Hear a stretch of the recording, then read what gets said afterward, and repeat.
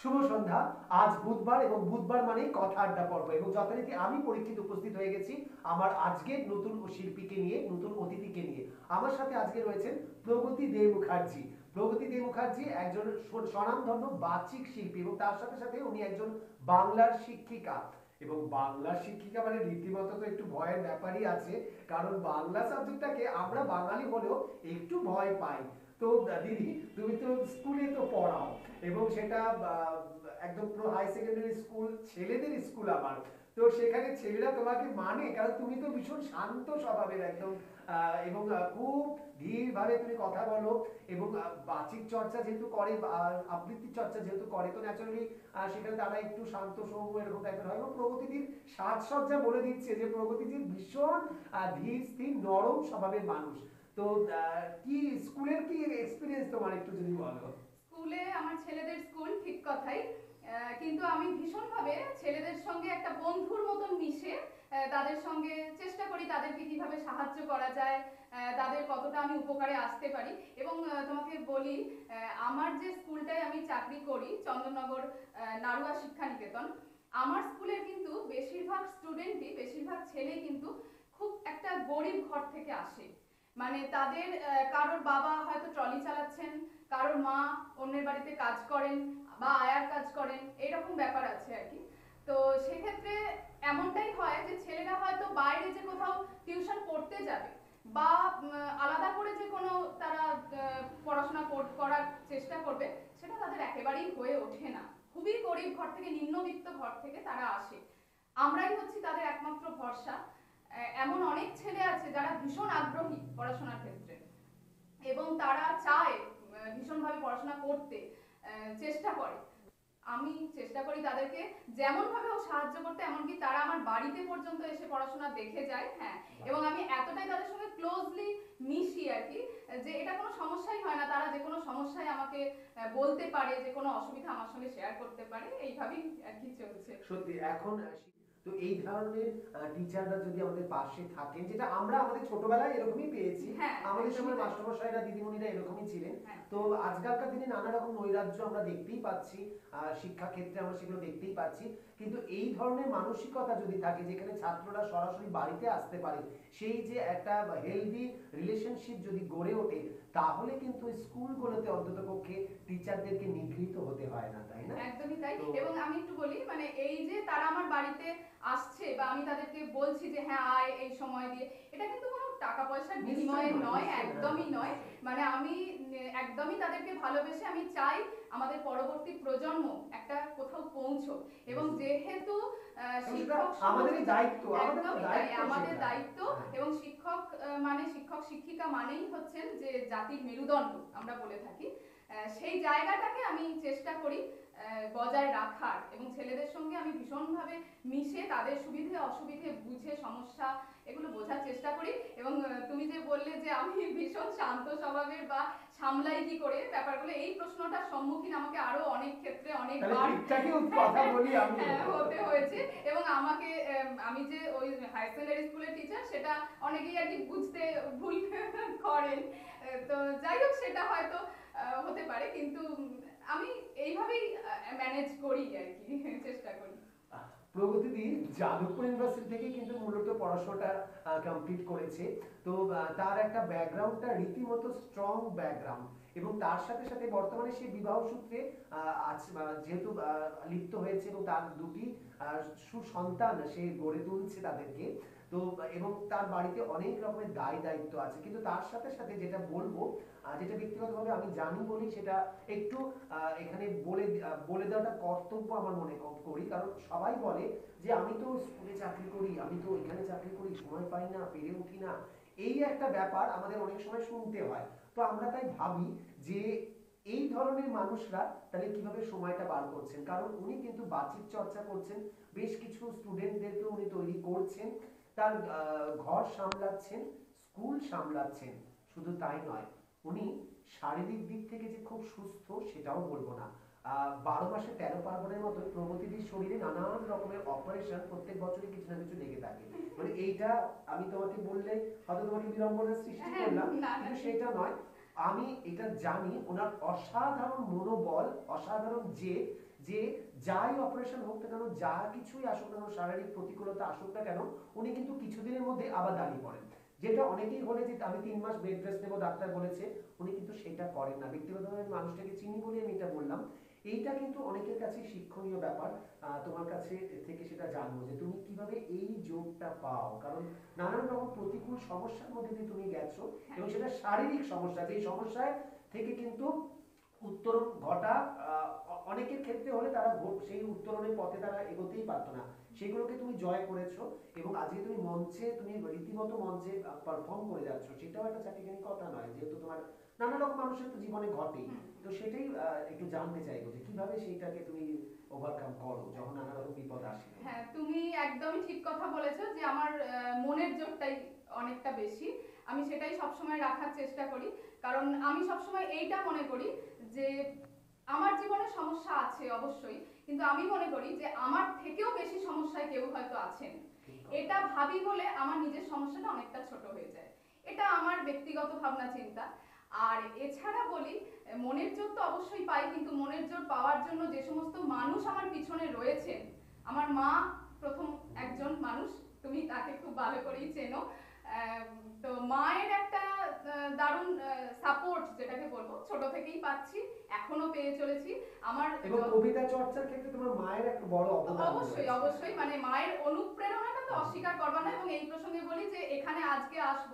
আহ, তো কালকে আমি সন্ধ্যেবেলা একবার মায়ের ওখানে ঢু মেরেছি আহ, যে একটুখানি আর কি মায়ের নিলাম আশীর্বাদ, যে মায়ের হ্যাঁ সেটা হ্যাঁ। একটা কিছু টিপস এই আর কি, মুখে প্রকাশ করিনি যে তোমার কাছে টিপস নিতে এসেছি, কিন্তু মায়ের অবদান তো এভাবে মুখে বলে সেটা বোঝানো যায় না।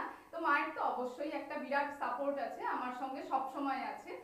আর যেটা তুমি বলছো যে কীভাবে আমি এত দিক সামলাই, শারীরিক সমস্যাগুলোকে আমি ওই ওষুধের ওপরই থাকতে হয়। তুমি খুব কাছ থেকেই আমার জানো, আমার অলরেডি আমার ছবার ওটি হয়ে গেছে আর কি। বিগত এক মাস আগেই আমার গল ব্লাডার স্টোনও অপারেশন হয়েছে। তো তাও আজকে আমি এখানে। তো এইভাবেই চলছে। আর আর একজন যে আমার ভীষণ একজন সাপোর্টার আছে, তিনি হচ্ছেন অবশ্যই আমার হাজব্যান্ড যার কথা না বললে খুবই একটা অন্যায় করা হয়। ও যদি আমাকে এইভাবে সাপোর্ট না করতো, এইভাবে আমার সঙ্গে, পাশে, পিছনে না থাকতো, তাহলে আজকে আমি এই জায়গায় থাকতে পারতাম না। যখনই আমি কোনো অনুষ্ঠান করতে যাচ্ছি, কোনো সেটা মঞ্চ অনুষ্ঠান হোক, কোনো লাইভ প্রোগ্রাম হোক, যে কোনো কিছু, আমার ছেলেমেয়ের দায়িত্ব ওকে নিতে হচ্ছে এবং ও যথেষ্ট সেটা সাগ্রহেই মানে কোনো রকম বিরক্তি ছাড়া সে দায়িত্ব পালন করছে। সেটা তো আছেই। আর মা তো ছেলে মেয়েকে সবসময় রাখছেই করেই যাচ্ছে, এখনও পর্যন্ত করছে। হ্যাঁ আমার ছেলের দশ বছর বয়স, আর মেয়ের এই জাস্ট আড়াই বছর বয়স। তো আড়াই বছরের বাচ্চাকে ফেলে সে কিন্তু ছুটে বেড়াচ্ছে কাজ করে বেড়াচ্ছে। এগুলো আমাদের কাছে ইন্সপিরেশন এবং আহ, এ বলব যে আমি যে এত কিছু করতে পারছি যেমন এইসব মানুষদের সাহচর্য সাপোর্ট যেরকম রয়েছে সেরকম এই সংস্কৃতির আঙিনাটা হচ্ছে আমার কাছে একটা অক্সিজেনের মতো। আমাদের সকলের হ্যাঁ, নিশ্চয়ই। তো এই এই অক্সিজেনটাই আমাকে বাঁচতে সাহায্য করে। আমি মনে করি আমার হাজার একটা সমস্যা থাকলেও শারীরিক সমস্যা সাংসারিক সমস্যা সবকিছুর মধ্যেও কিন্তু আমি ওইটা থেকেই অক্সিজেনটা গ্রহণ করি। ওটা না থাকলে হয়তো এতদিনে আর থাকতামই না আর কি। কথা আড্ডা আড্ডা চলছে কথাও চলছে কিন্তু বাচিক শিল্পীকে পেয়েছি যখন কাছে কিছু তো শুনতেই হবে নইলে কিন্তু তোমার যারা ফ্যান ফলোয়ার্স তারা তো বিরক্ত হচ্ছে যে দিদিমণির কাছে কিছু শুনছি না কিছু শুনছি না। এমনিতে আমার বদনাম আছে যে আমি বেশি বকি তো আমি আর বকবো না এবার তুমি বকবে। কি শুনব তোমার আচ্ছা আমি কবিগুরু ছাড়া যেহেতু আমরা একটা পাও একটা মুহূর্ত। এগোতে পারি না এবং আমাদের শয়নে স্বপনে জাগরণে সর্বত্রই তিনি বিরাজমান। আমি কবিগুরুরই একটি কবিতা দিয়ে আমার নিজের মনের কথা সেটা ওনার লেখনীর মাধ্যমে আমি প্রকাশ করো, করছি। আমার মাথা নত করে দাও হে তোমার চরণ ধুলার তলে। সকল অহংকার হে আমার ডুবাও চোখের জলে। নিজেরে করিতে গৌরব দান নিজেরে কেবলই করি অপমান। আপনারে শুধু ঘেরিয়া ঘেরিয়া ঘুরে মরি পলে পলে। সকল অহংকার হে আমার ডুবাও চোখের জলে। আমারে না যেন করি প্রচার, আমার আপন কাজে। তোমারই ইচ্ছা ইচ্ছা করহে পূর্ণ আমার জীবন মাঝে। যাচিহে তোমার চরম শান্তি পরাণে তোমার পরম কান্তি। আমারে আড়াল করিয়া দাঁড়াও হৃদয় পদ্ম দলে। সকল অহংকারকে আমার ডুবাও চোখের জলে। আমার মাথা নত করে দাও হে তোমার চরণ ধুলার তলে।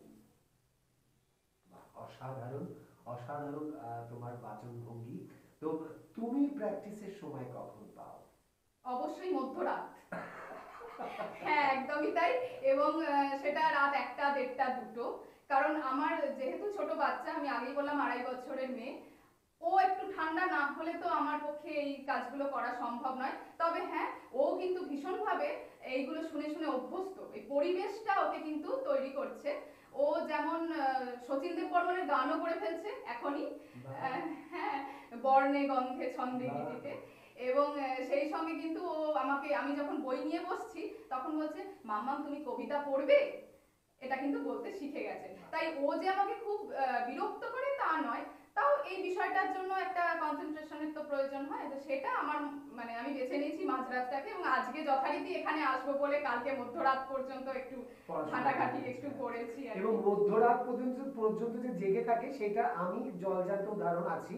কারণ অনলাইনে যখন আমাদের আমাদের আলাপটা হয়েছিল অনলাইনে এই হ্যাঁ। সাংস্কৃতিক চর্চার ক্ষেত্রে যখন লকডাউন ছিল হ্যাঁ, হ্যাঁ, তো আহ, প্রগতি দিও অনুষ্ঠান করতেন। আমি তো আমার বকবক ছাড়া আমার কিছু কাজ নেই আমি বকবকই করতাম।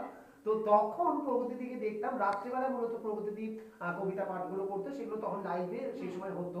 তো দেখতাম বিছানার মধ্যে মশারি টাঙ্গি টাঙ্গি বালিশ টালিশ রয়েছে প্রগতি দি কবিতা পড়তে হ্যাঁ, তখন মেয়ে আরও ছোট ছিল। মেয়ে আরও ছোট ছিল ছেলেকে পাশে বসিয়ে বালিশ টালিশ দিয়ে এনে বস এরকম করে ছেলে হয়তো বালিশটা সরে গেল ছেলে হয়তো এরকম হয়ে গেল এই বালিশটা ঠিক ঠিক করে দিচ্ছি এনে পরে কবিতাটা হচ্ছে এরকম করে প্রগতি কবিতা বলতেন। তো আমি তখন সেটা দেখতাম তখন আমি প্রগতি থেকে দু একবার বলেছিলাম যে প্রগতি একটা ব্যাকগ্রাউন্ডটা একটা হ্যাঁ, হ্যাঁ। তারপর থেকে যে প্রকৃতি আমার কথা শুনেছে যে না ওই মশারি না রেখে বিছানায় বসছে। ঠিকঠাক মতো বসছে। যেহেতু শিল্পী আমরা তো ন্যাচারালি সেই চারিপাশটাতেও আমাদের সৌন্দর্য হ্যাঁ, পারিপার্শ্বিক কারণ। সেটা আমি প্রগতি বলে আসলে জানো তো আমি সব কিছু কাজ কর্ম সেরে রাত্রেবেলা একদম নিশ্চিন্ত মানে বসি। আর বুঝতেই পারছি কিন্তু এটা তো অনুষ্ঠান। তো সেটা আমি তাও দেখেছি। এবং সেই অভ্যাসটা তো রয়েছে। কিন্তু সেক্ষেত্রে পরবর্তী দিন অসুবিধা হয় না যে সকালে উঠে তারপরে আবার সেই রান্নার দিক হ্যাঁ, হ্যাঁ একদমই তাই। ভোর সাড়ে পাঁচটা থেকে আমাকে উঠতে হয়। রান্না আছে ছেলেকে স্কুল পাঠানো মেয়ে ঘুমোতে কি কষ্ট থাকে। হয়। কিছুটা তাই। মানে ঘুম আসে না। অদ্ভুত ব্যাপার। আমাকে যদি কেউ বলে সারা রাত জেগে এই সমস্ত চর্চা করতে বা পড়াশোনা করতে আমি পড়াশোনাটাও ভীষণ ভালোবাসি। এখনও পর্যন্ত যদি কেউ আমাকে বলে পড়াশোনা করতে আমি কিন্তু ভীষণভাবে পড়াশোনা করতে পারব। পড়াশোনা করতে ভালোবাসি। খুব কম লোকের কথা কাছেই কিন্তু এই কথাটা শুনতে পাবেন তো ন্যাচারালি যারা কাজ পাগল মানুষ হয় এবং পড়া পাগল মানুষ হয় তারা কিন্তু এরকমই হয়। বেশ দিদি আরেকটা কি শুনব? আচ্ছা আমি একটা রবীন্দ্রনাথ ঠাকুরেরই কবিতাটি অনেক বড়। সেটি হচ্ছে দেবতার গ্রাস। হ্যাঁ। হ্যাঁ কিন্তু আমি যেহেতু এখানে সময় অল্প আমি কিছুটা অংশ শেষের অংশটুকু নিয়ে আমি কিছুটা বলার চেষ্টা করছি। এই কবিতাটা বলা এই কারণেই এটার পিছনে একটু ইতিহাস রয়েছে আমি ছোট্ট করে বলে নিই। আমি তখন ক্লাস সিক্সে পড়ি। আহ, বাণী মন্দির স্কুলে আমি পড়তাম চুচুড়া। সেখানে এই দেবতার গ্রাস কবিতাটির ওপর শ্রুতি নাটক হয়েছিল। দিদিমণিরা যারা ছিলেন তখন ওটা রিহার্সাল করাতেন। আমাকে দেবতার গ্রাস কবিতায় রাখালের যে অংশটা সেই রাখালের ওইটুকুন অংশ আমাকে দেওয়া হয়েছিল। রাখালের চরিত্রটা আর কি আমি করেছিলাম। কিন্তু যেহেতু ছোটবেলা থেকেই এই আবৃত্তির প্রতি আমার একটা অন্যরকম ঝোঁক ফলত কি হয়েছে? ওই যে প্রতিদিন রিহার্সালটা হতো ওটা থেকে হতে হতে ওখানে থাকতে থাকতে শুনতে শুনতে আমার ওই বয়সেই এগারো বছর বয়সে আমার কিন্তু গোটা কবিতাটাই মুখস্থ হয়ে গিয়েছিল। ওটা প্রায় দশ বারো মিনিটের একটা কবিতা মুখস্থ হয়ে গিয়েছিল। সেইটা আমি বিভিন্ন জায়গায় অনুষ্ঠানে বলেওছি। এমনও কোথাও কোনো কোনো জায়গায় আমাকে শুনতে হয়েছে এই কবিতাটা বলে যে প্রথম যখন বলতে উঠছি বাবা দেবতার গ্রাস এত বড় কবিতা কতক্ষণ আর ভালো লাগবে না একটা বোরিং ব্যাপার এরকম। যখন বলতে উঠেছি তারপর যখন নেমে এসেছি তখনকার মানে সবাইকার চোখে তখন জল আর কি। এবং তখন মন্ত্রমুগ্ধের মতো আর কি হ্যাঁ শুনেছে। বা এমনও শুনতে হয়েছে একজন অনেক বয়স্ক ভদ্রলোক তিনি আমার পাড়ারই আর কি উনি চোখের ডাক্তার ছিলেন। উনি উনি তার ছেলে সন্তানকে হারিয়েছিলেন আর কি। তো তিনি আমাকে বলেছিলেন যে এই কবিতাটা কেন বলিস? যেহেতু এখানেও এইরকমই একটি ঘটনার কথা। তো আমি একটু চেষ্টা করছি আমি জানি না কতটা বলতে পারব আমি প্রথমেই বলে দিচ্ছি সেই মুখস্থ সেই স্মৃতিশক্তি আমার কতটা আছে কারণ তুমি যে বলেছ যে বিভিন্ন রকম অপারেশন এবং শারীরিক সমস্যার জন্য আমার যেটা সব থেকে সমস্যা হচ্ছে এটা সমস্যা এটাকেও আমি ওভারকাম করার চেষ্টা করছি। স্মৃতিশক্তিটা একটু সমস্যা হচ্ছে আর কি আর বিভিন্ন রকম ওষুধ এর উপর থাকতে হয় বিভিন্ন শারীরিক সমস্যা থাইরয়েড হাই প্রেশার তো এগুলোর জন্য কিছুটা সমস্যা হচ্ছে আমি একটু চেষ্টা করছি হ্যাঁ। হ্যাঁ। সূর্য অস্ত না যাইতে ক্রোশ দুই ছেড়ে উত্তর বায়ুর বেগে ক্রমে উঠে বেড়ে রূপনারায়ণের মুখে পড়ি বালুচর সংকীর্ণ নদীর পথে বাঁধিল সমর। জোয়ারের স্রোতে আর উত্তর সমীরে উত্তাল উদ্দাম। তরণী ভিড়াও তীরে। উচ্চ কণ্ঠে বারংবার কহে যাত্রী দল, কোথা তীর চারিদিকে ক্ষিপ্তন্মত্ত জল আপনার রুদ্র নৃত্যে দেয় করতালি লক্ষ লক্ষ হাতে আকাশের দেয় গালি ফেনিল আক্রোশে। একদিকে যায় দেখা অতি দূর তীর প্রান্তে নীল বনরেখা। অন্যদিকে লুব্ধ, ক্ষুব্ধ, হিংস্র বাড়ি রাশি প্রশান্ত সূর্যাস্ত পানে উঠেছে উচ্ছ্বাসী উদ্ধত বিদ্রোহ ভরে। নাহি মানে হাল, ঘুরে টলমল তরি অশান্ত মাতাল মূর্খ সম। তীব্র শীত পবনের শনি, মিশিয়া ত্রাসের হিম নরনারীগণে কাঁপাইছে থরকরি কেহ হতবাক কেহ বা ক্রন্দন করে ছাড়ি ঊর্ধ্ব ডাক ডাকি আত্মজনে। মৈত্র শুষ্ক পাংশু মুখে চক্ষু মুদি করে জপ জননীর বুকে রাখাল লুকায়ে মুখ, কাঁপিছে নীরবে। তখন বিপন্ন মাঝি ডাকি, কহে সবে, বাবারে দিয়েছে ফাঁকি তোমাদের কেউ? যা মেরেছে দেয় নাই তাই এত ঢেউ। অসময়ে তুফান, শুনো এই বেলা করহ মানত রক্ষা, করিও না খেলা ক্রুদ্ধ দেবতার শনি। যার যত ছিল অর্থ বস্ত্র, যাহা কিছু জলে ফেলি দিল না করি বিচার। তবু তখনই পলকে তরিতে উঠিল জলের দারুণ ঝলকে।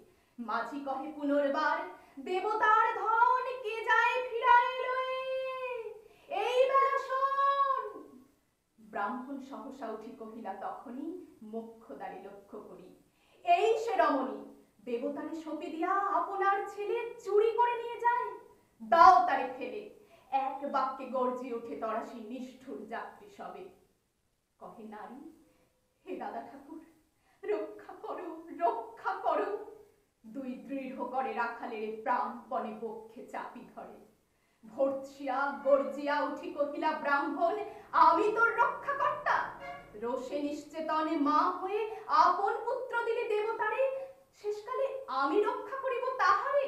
শোধ দেবতার ঋণ, সত্য ভঙ্গ করে এতগুলি প্রাণী তুই ডুবাবি সাগরে। মোক্ষদা কহিল, অতি মূর্খ নারী আমি। কি বলেছি রোষ বসে ও গো অন্তর্জামী, সেই সত্য হলো। সে যে মিথ্যা কত দূর, তখনই শুনে কি তুমি বোঝনি ঠাকুর? শুধু কি মুখের বাক্য শুনেছ দেবতা? শুনুনি কি জননীর অন্তরের কথা? বলিতে বলিতে যত মিলি মাঝি দাঁড়ি বল করি রাখালের নিল ছিড়িকারি মার বক্ষ হতে। মৈত্র মুদি দুই আঁখি ফিরায় রহিল মুখ, কানে হাত ঢাকি দন্তে দন্ত চাপি বলে কে তারে সহসা মর্মে মর্মে আঘাতিল বিদ্যুতের কষা? দংশিল বৃশ্চিক দংশ। মাসি মাসি মাসি। বিন্ধিল বন্ধির শলা রুদ্ধ কর্ণে আসি। নিরুপায় অনাথের অন্তিমের ডাক। চিৎকারে উঠিল বিপ্র, রাখ রাখ রাখ চকিতে হেরিল চাহি মূর্ছি আছে পড়ে মোক্ষদা চরণে তাঁর। মুহূর্তের তরে ফুটন্ত তরঙ্গ মাঝে মেলি আত্ম চোখ মাসি, বলি ফুকারিয়া মিলালো বালক। অনন্ত তিমির তলে। শুধু ক্ষীণ মুঠি বারেকে ব্যাকুল বলে ঊর্ধ্ব পানে উঠি। আকাশে আশ্রয় খুঁজি ডুবিল হতাশে। ফিরায়ে আনিব তোরে। কহি ঊর্ধ্বশ্বাসে ব্রাহ্মণ, মুহূর্ত মাঝে ঝাঁপ দিল জলে। আর উঠিল না। সূর্য গেল অস্তার জলে।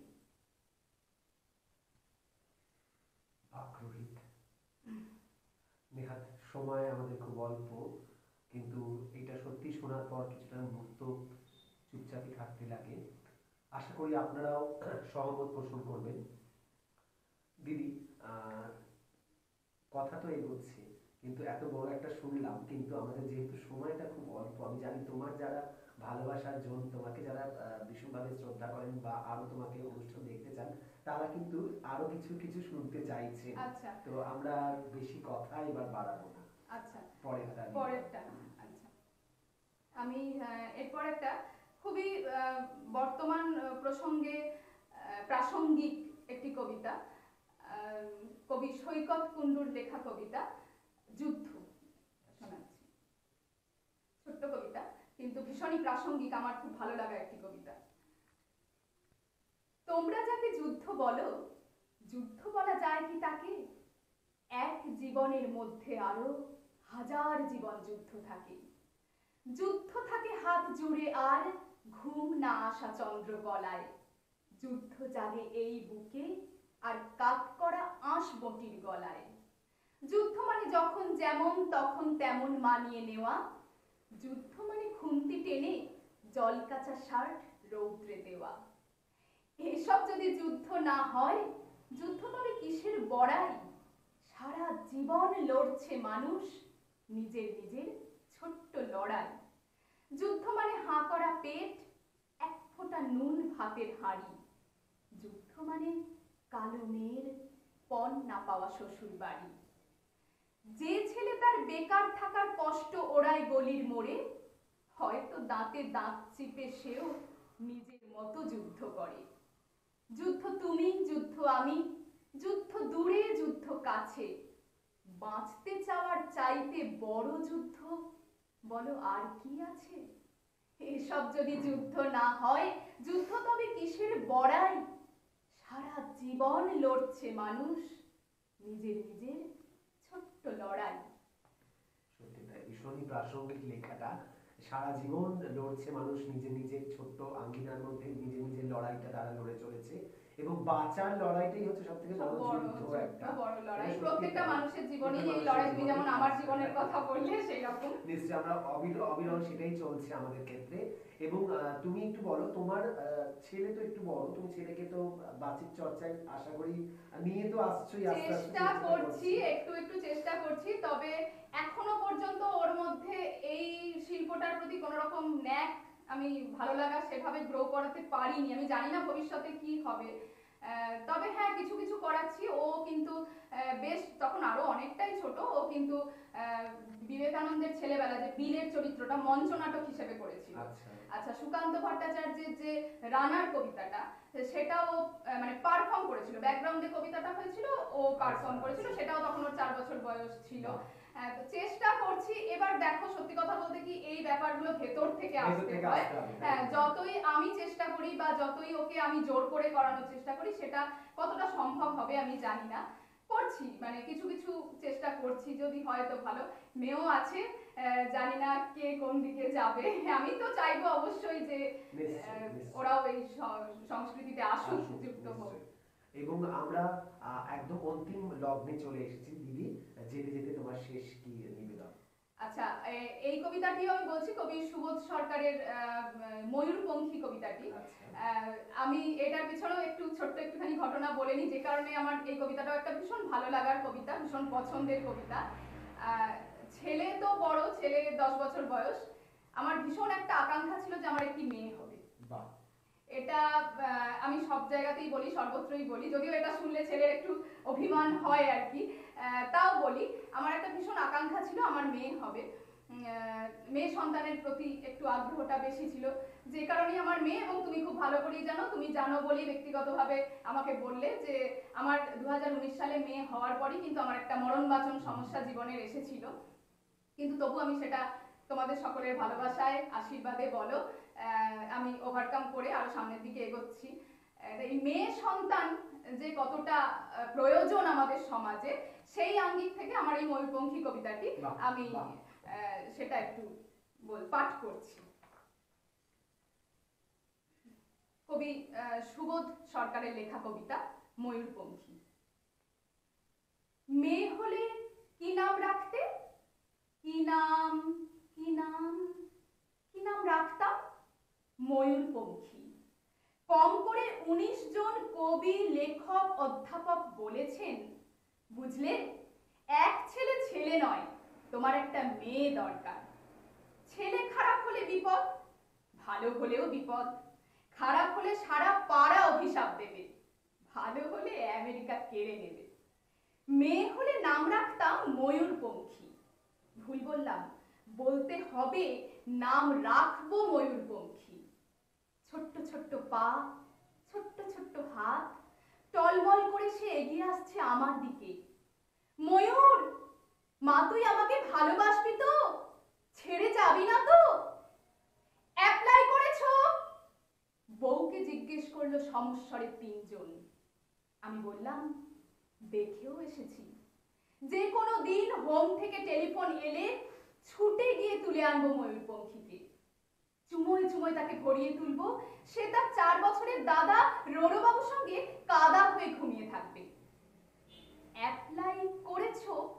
মাত্র দুটো শব্দ, দুটো ধ্বনি। এত তীক্ষ্ণ কখনো লাগেনি? রাত্রে ঘুমের মধ্যে বহু দূর থেকে প্রতিধ্বনি এসে জিজ্ঞেস করল, অ্যাপ্লাই করেছ?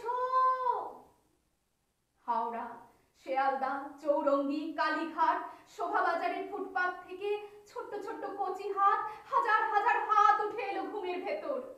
আমার জন্য তুমি অ্যাপ্লাই করেছ। বাকি রাত উঠে বসে থাকি। আমার সামনে কাক ভোর। ফুটপাত আর ফুটপাত। ঘুমিয়ে রয়েছে এক ভারতবর্ষ ময়ূরপঙ্খী আমরা কি পারি না? হোম থেকে, রাস্তা থেকে, ফুটপাত থেকে একটি করে ময়ূরপঙ্খী ঘরে তুলে আনতে? আমরা কি পারি না হোম থেকে, রাস্তা থেকে, ফুটপাত থেকে একটি করে ময়ূরপঙ্খী ঘরে তুলে আনতে? এটা এখন অনেকেই সেটা কাজটা করছেন, আমার চেনা জানা দেখতে পাচ্ছি। সেটা যে সকলের সন্তান হচ্ছে না বলে যে করছেন সেটাও নয় তাদের সেই ভালোবাসা জায়গা থেকে সেই। বাচ্চাটিকে যাতে একটা সুস্থ স্বাভাবিক জীবনে জীবন পায় সমাজ পায় এবং পরিবার পায় পায়, সেটার জন্য। সেটার জন্য অনেকে করছেন সত্যি তো আমরা একটু ভাবি না একটু অন্য রকম ভাবে তো ভাবাই যায় আজকের প্রগতিদি এই যে ভাবনাটা আমাদের মধ্যে আবার নতুন ভাবে সঞ্চার জাগালে প্রগতিদি তোমার প্রগতির পথ এইভাবেই এই আরও তুমি প্রগতিতে এগিয়ে চলো প্রগতিতে প্রগতি নামটাই তো এগিয়ে চলো। চলা তো আলাদা করে আর কি এগিয়ে চলো বলব সে তো সমর্থক সমর্থক হয়ে যাচ্ছে। তুমি এমনই থেকো। যুদ্ধে জয় তো তুমি করেইছো এবং আরও যদি যুদ্ধ আসেও, সেগুলো তো তুমি যে জয় করবে সেটা আমরা জানি, কারণ তুমি লোকের এতজনের মনের মধ্যে তুমি বাস করছ যেখানে তাদের হৃদয়ে তুমি ভালোবাসা নিয়ে যেহেতু তুমি আছো এবং সেখানে তাদের মধ্যে তুমি যেহেতু শক্তি যোগাচ্ছ ন্যাচারালি আমরা সহজেই অনুমান করতে পারছি এই মানুষটির মধ্যে কতটা তাদের শক্তি রয়েছে। ইনি কিন্তু দুর্গা আমাদের কাছে। তো এইভাবেই কিন্তু প্রগতি দিয়ে আমাদেরকে পথ দেখিয়ে চলুক একজন দিদিমণি হিসাবে একজন বাচিক শিল্পী হিসাবে। উনি সুস্থ থাকুন এটাই আমরা চাইব। তুমি এইভাবে আরও অনুষ্ঠান করো আবার যেন প্রদীপ্ত নিউজ স্টুডিওতে তোমাকে পাই। আমি আর একটুখানি বলেই শেষ করব যে আমার এই যে বাচিক শিল্পী বারবার তুমি এই কথা আমি জানি না আমি কতটা বাচিক শিল্পী হয়ে উঠতে পেরেছি। হ্যাঁ তো এইটার পিছনে আমার প্রথম শিক্ষা আমার মামার কাছে শ্রী কিরণময় দত্ত। এটা বলি আমার মা তো আছেই। এছাড়া আমার প্রাইমারি স্কুলের দিদিমণি শ্রীমতী ইন্দ্রাণী মুখার্জি ওনারা আছেন। পরবর্তী সময় আমি শ্রীমতী ব্রতকী বন্দ্যোপাধ্যায়ের ইনস্টিটিউট থেকে কিছুটা আচ্ছা। তালিম নিচ্ছিলাম। কিন্তু তারপরে এইসব নানা রকম সমস্যার মধ্যে সেটা আর শেষ- শেষ পর্যন্ত কন্টিনিউ করতে পারিনি আর কি এভাবেই চলছে। আর অবশ্যই তুমি যেটা বলছো যে আমি আরও সকলের মধ্যে এই ব্যাপারটাকে ছড়িয়ে দিতে যেতে পারি, আমার বাড়িতে একটি ছোট সংস্থা আমি করেছি, যার নাম প্রচেষ্টা সংস্কৃতি চর্চা কেন্দ্র। এবং সেখানে আমি কিন্তু বাচ্চারা তো আছেই, আমি কিন্তু এমন অনেক মানুষকে এনেছি যারা কেউ হয়তো প্রাইভেট টিউশন পড়ান, কেউ হয়তো শুধুমাত্র হাউসওয়াইফ যারা বিভিন্ন কাজের ভেতর থেকে নিজেদের একটু সময় বার করে এই ভালো লাগাটাকে এই প্রতিভাটাকে তারা বিকাশ করতে চায় প্রকাশ করতে চায় আমি তাদেরকে সেই সাহায্যটুকু করে তাদেরকে এগিয়ে চলতে আর কি সাহায্য করার শুধুমাত্র চেষ্টা করছি কারণ প্রত্যেকে আমাকে ভীষণ ভালোবাসে সেই ভালোবাসার জায়গা থেকেই তারা আমাকে আসে আমার কাছে আমাকে ভালোবাসে। বোঝা যাচ্ছে প্রগতি তার প্রচেষ্টাকে নিয়েই এগিয়ে চলুক আমরা এইভাবেই আর আশাবাদী এইভাবেই- প্রলিপ্তকেও আমার অসংখ্য ধন্যবাদ আমাকে এইভাবে একটা প্ল্যাটফর্ম দেওয়ার জন্য এইভাবে আমাকে ডেকে আনার জন্য। প্রলিপ্ত নিউজ কিন্তু সকলের সাথেই রয়েছে। আপনারা যারা বাচিক শিল্প শুধু নয় সঙ্গীতের সাথে যুক্ত নৃত্যের সাথে যুক্ত অবশ্যই আপনাদের যে প্রতিভাটা বিকাশ করতে চাইছেন অবশ্যই প্রলিপ্তর সাথে যোগাযোগ করতেই পারেন। আমাদের নানান রকম উইং রয়েছে। যারা লেখালেখি করেন তাদের হয়তো প্রকাশ যারা লেখালেখি করেন তারা হয়তো চাইছেন তাদের লেখা ছাপা অক্ষরে বেরোত সেটার জন্য প্রলিপ্ত রয়েছে এবং প্রলিপ্ত নতুন নতুন আরও অনুষ্ঠান আসছে। আপনারা চোখ রাখুন। আজকের মতো নমস্কার।